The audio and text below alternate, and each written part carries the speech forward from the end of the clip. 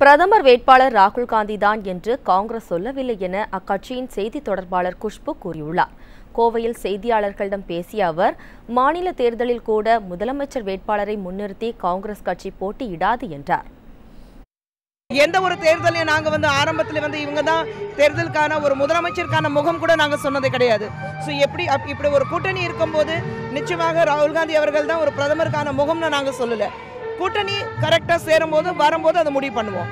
இது வரைக்கும் காங்கிரஸ்லேருந்து யாருமே ராகுல் காந்தி அவர்கள் நிச்சயமாக அவர்தாக பிரதமராக வருவார்னா யாருமே சொல்லலை.